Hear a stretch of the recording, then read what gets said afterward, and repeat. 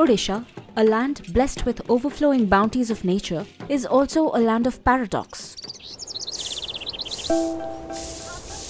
Despite all its resources, a huge cross section of people here still remain impoverished.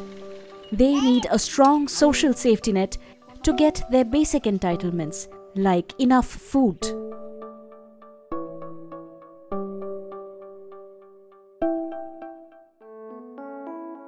The state needed a new, transparent, and efficient PDS reform process to reach over 85 lakh families using a network of over 28,000 fair price shops.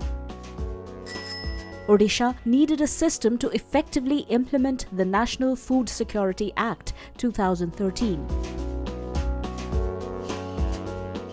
To transform the Targeted Public Distribution System or TPDS of the state, the government of Odisha collaborated with the United Nations World Food Programme.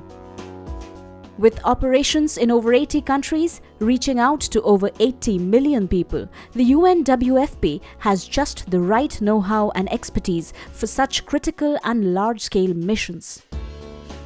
The UN program took up Odisha as a model and helped set up eBitaran, a digitized and streamlined distribution network of subsidized goods created for people who actually deserve it.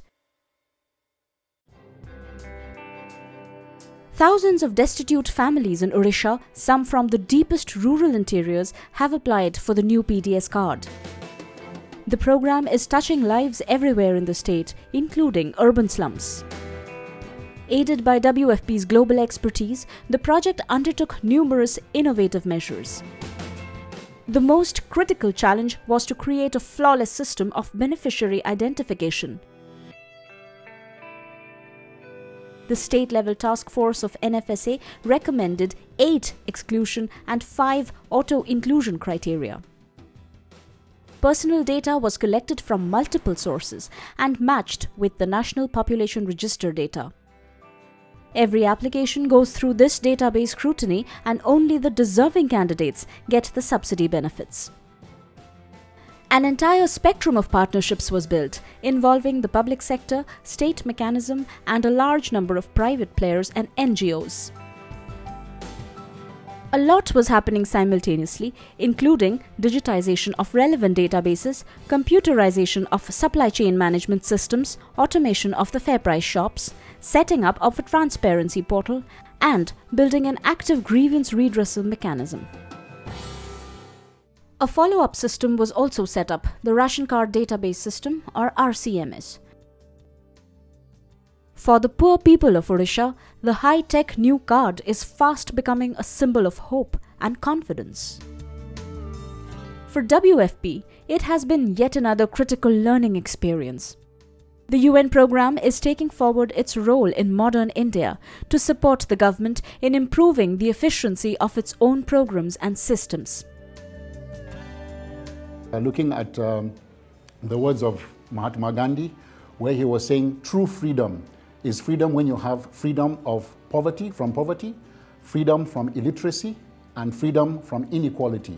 So poverty, illiteracy, inequality, all these are directly tied to food security. The question is, how do we align these better so that the surpluses can be channeled to the right people who need them? This is what WFP is very keen on trying to support government to try to see how this can be achieved. WFP is proud to partner with the Indian government to support these activities here in Odisha, which will become a model for the work across India that will provide an opportunity for the entire global community to achieve zero hunger. TPDS in Odisha has proved beyond doubt where there is a will, there will always be a way.